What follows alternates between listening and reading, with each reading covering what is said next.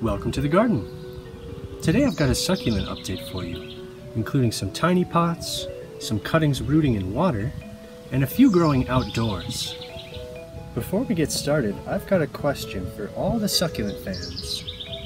I've been thinking about starting a succulent only channel. So let me know down in the comments or over on the community tab whether you want a new channel devoted just to succulents. Right up here in the front is my common jade. This is a tiny pot I made out of an Easter egg shell and a little cap. It has tiny little points of growth. I mean, this is the smallest jade plant I've ever seen. In the back, you can see the older leaf that sprouted all these little guys. So they've got a lot of growing to do. My next tiny pot has some sedums. I always thought the colors clashed between the pale green sedum and the sort of yellow-green pot. So we might just pop these out and try something different. This tiny pot has leaf cuttings from our mini kalanchoe. Look at all this new growth. These are just brand new plants from individual leaves. And this one's already about three inches tall. Looks great. So I could pinch off this top growth if I want to keep it really short, but we'll let these grow for a little bit longer. Now I'm really excited to show you this water cutting. This is our floating cutting after almost a year. Look at all of that growth. This whole plant started as a simple crown cutting, just like this, floating on the surface of the water. So it's grown all of these leaves with nothing but water, and that's really surprising. This next tiny pot is full of our stacking jade. This has been doing really well. It's got a whole bunch of new growth. I do see a little bit of scabbing on this plant. I'm not really sure what that came from. Luckily the rest of the crowns look really nice. And even though these are packed in there pretty tight, they actually get enough sun to fill in quite well.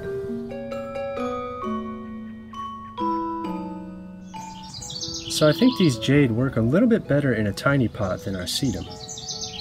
I have another type of sedum, and this one is actually hardy in Minnesota, which means we can grow it outdoors.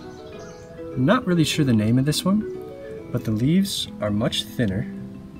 You can see they're a lot like our mini kalanchoe, and they have big clusters of pink flowers.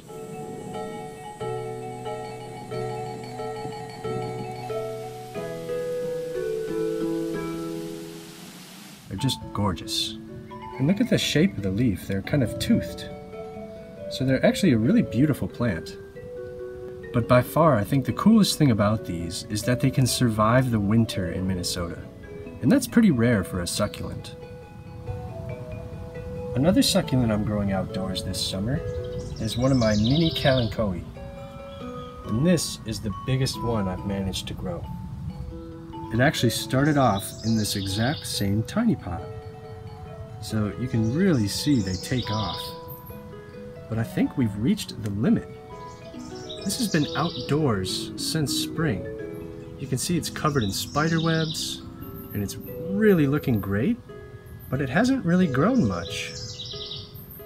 It might have grown just a couple inches, but really it's barely noticeable. So that actually really surprised me but apparently it lives up to its name, Mini Kalanchoe. I think overall it's about a foot tall.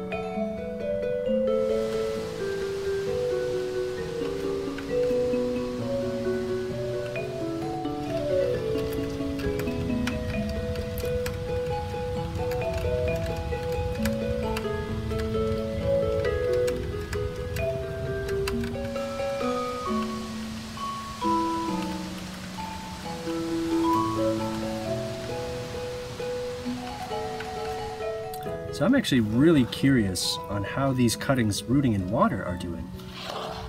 And just taking a peek, we can see some roots.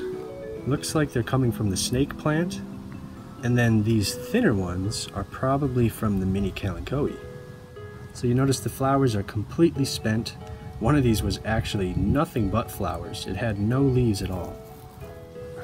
No, that one didn't root at all. Let's start off with this really long leaf from a snake plant.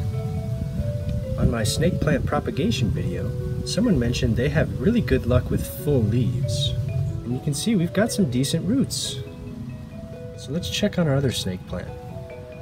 This is one that I've had for a long time. Okay, what's going on here? Wow. Oh, they're completely intertwined. Look at this. What is going on there? What is this new sprout? It looks like it's coming off of the mini kalanchoe. If I can just gently separate these, that'd be great. Ugh. Ah, yep, it's coming off of the kalanchoe. And look at that set of roots. So this is definitely ready to plant. The leaves look beautiful too. It's amazing how healthy they stay in water. But just like the other ones, this one's done flowering. But we had a good three months of those beautiful bright red flowers.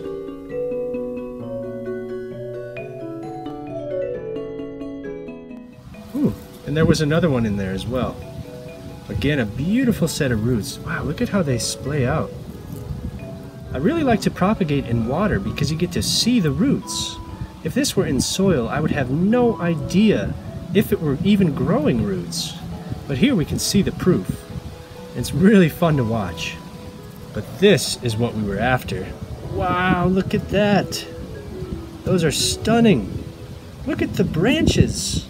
They've got main roots with offshoots, all those little side roots. Now that is incredible. Almost two years ago now, I had snapped this off by accident. I replanted it in soil, and I really didn't see a lot of new growth. Eventually, I just decided to pull it out of the soil. I really didn't have much resistance because there were hardly any roots. I popped this in some water, and look at all that crazy new growth. That is just amazing. I'm blown away. It's just so beautiful too. This one, I might actually keep going in water just for fun, just as an experiment. So I just replaced the water and it's gonna go right back in. That is so cool. I did not expect so much root growth. And then I will add in the other snake plants but I'm not to add in the mini kalanchoe. These I'm just to transplant out into the garden. Just see how they do in soil.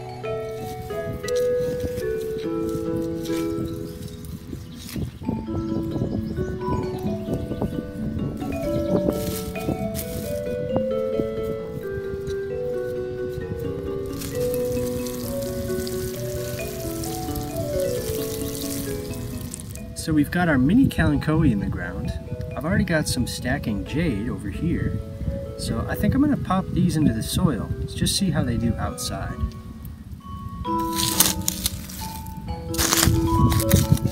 I forgot there's a snake plant cutting out here too. Doesn't look like it's got any roots though. We'll just keep that going.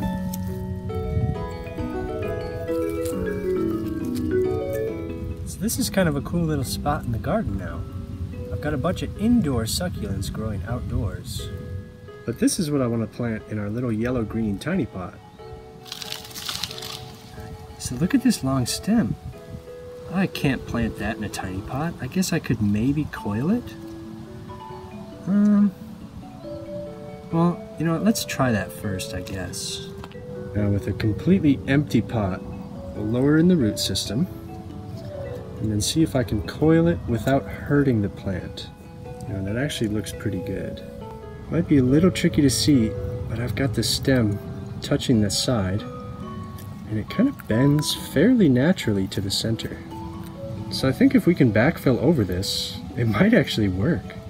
I mean, look at that, that's perfect. Colors match. I think that's a great fit. So I'm just gonna backfill in here with our succulent potting soil. This has really excellent drainage with perlite and a little bit of sand. That way it'll help it dry out quicker. That's especially important on this pot because it doesn't have any drain holes in the bottom. I'll make sure I position it properly so it's really well centered. We'll just overfill the pot at first and then settle in the soil. This will help it wrap around those roots and anchor in our little plant. So I really want to try and hold it in place while I water it in. I'm going to have to do this in batches just to let it soak through the soil. The soil is pretty dry. If this can fill in, I think it's going to look just beautiful. Kind of looks like a sea turtle right now. it's kind of funny. It really looks like a sea turtle. I hope you all enjoyed this succulent update. Stay tuned for many more experiments to come. And please let me know in the comments if you want to see a succulent only channel. Or hop over to the communities tab on my channel page and vote in the poll. Thank you so much for watching and I hope to see you next time.